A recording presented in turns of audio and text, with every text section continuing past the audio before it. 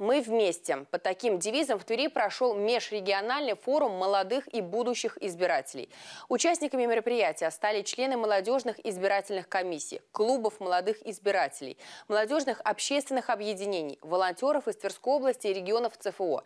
Всего более 300 человек. О том, как проходил форум в нашем следующем материале выпуска.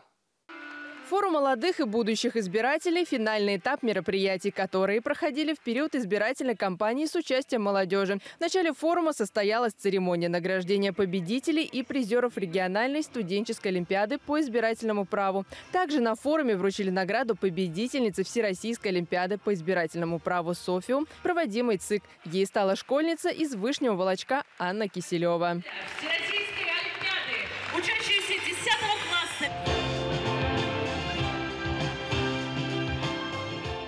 Помимо а, э, того, чтобы сказать спасибо, мы бы хотели, чтобы ребята, участвуя в нашем форуме, а, узнали что-то новое, получили какие-то новые компетенции. Поэтому в ходе форума будут работать несколько образовательных площадок. А мы хотели бы, чтобы наши ребята в том числе а, получили новые навыки, новые знания и в будущем могли бы их использовать.